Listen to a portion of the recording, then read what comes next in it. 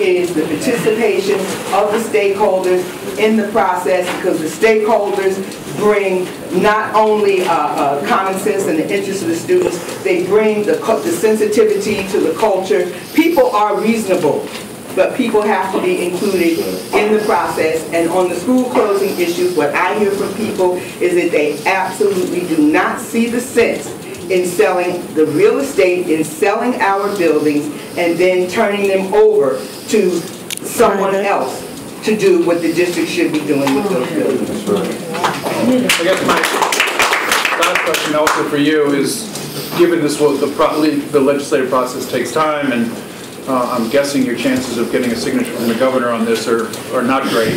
Um, are there other steps to take? These are all plans that are supposed to happen in the next six months. Uh, are there other steps that the board might take to prevent this from happening? Or, you know, what, what's the plan B, I guess?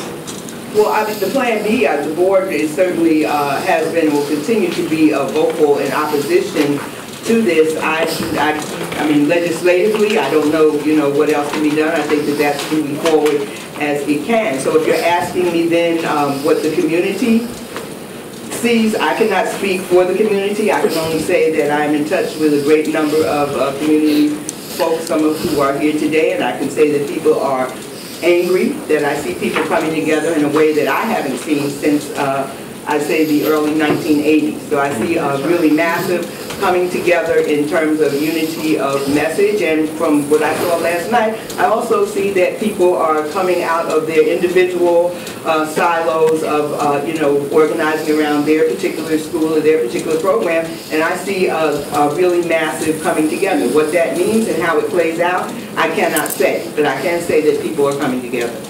One of the things that can be done, win, lose, or draw, judiciary. We go to court. Because there's a question about whether or not you can sell some of these buildings.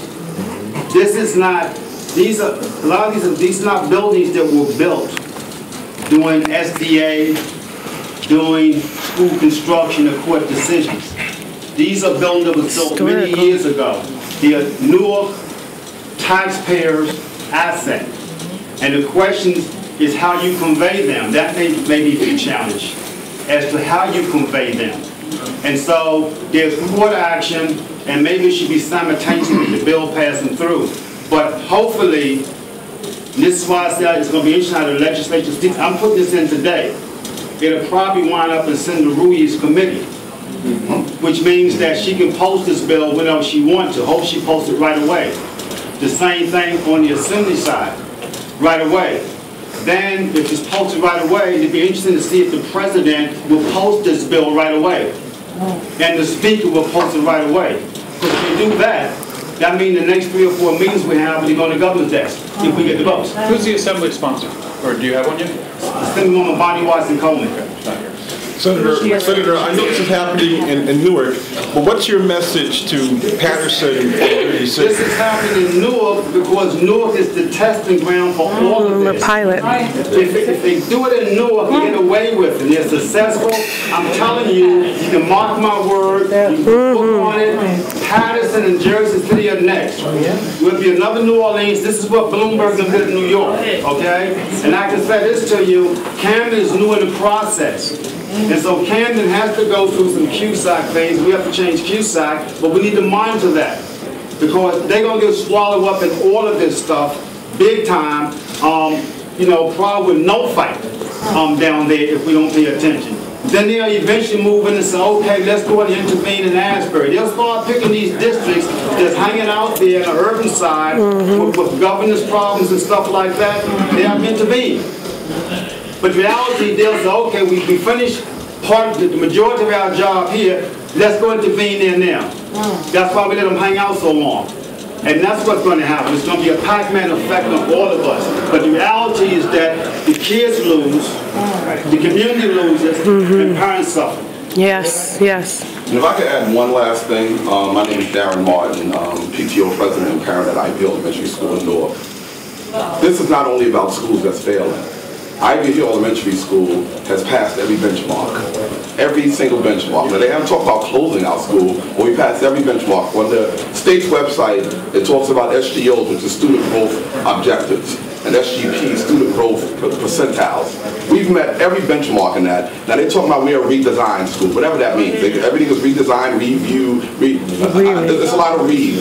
And, and, problem is, we have met every benchmark, so why are we being redesigned? If it's not broken, why are we fixing it? I don't understand it. And this level of intimidation is really um, reared its ugly head. Yesterday, they came down to tear my PTO notices down. Um, two people from 2 Cedar Street who work for Cami Anderson. And then two of them, they pushed me, so I filed charges against them as well. Wow. So th- this level of intimidation is serious. And it comes straight from the governor, governor's office on down. That This, they think they can push people around. We will not be moved. Let me say, well, I don't know if this was said before I came in, before this was still here. You know, I go to a meeting, seven, eight hundred people last night, and that's what Tony was speaking about. And I get parents to come up and tell me that they went into a school setting, and the superintendent of schools, a state appointed superintendent, took the kids in the library to talk to them, mm-hmm. and locked them in there and would not let the parents come in. I have a real serious problem with that. Yes, it did. If a cop stopped me on the corner, and I'm not a kid, or stop a kid and do certain things, that means I'm temporarily under arrest. I've been retained. Those kids were like hostages momentarily in the room because parents, adults couldn't come. What are you, brainwashing our kids? Mm-hmm. And so that needs to be looked at. And I hope they bring charges against that so it can be aired in the courts regardless of the outcome. Because the only time you're gonna get the media printing thing is when you go to court, win or lose, and get it aired. And the parents were actually there. They were outside the door. Yes. And they were letting them inside the room. There was, Yeah. yes, there was a PTA meeting being held, and they would not allow the parents nor the teachers Yeah, to teachers be in the building or be in the room with the students. Any more questions? Okay.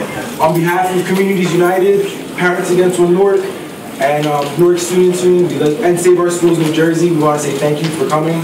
And um, Just one thing, Assembly, uh, Senator Ruiz just wanted me to let everybody know that Assemblywoman Anna, Aliana, um, is not, only reason she's not even an Essex delegation is because she had to take one of her kids to the doctor. okay? Oh. Um, But she stands behind this as well.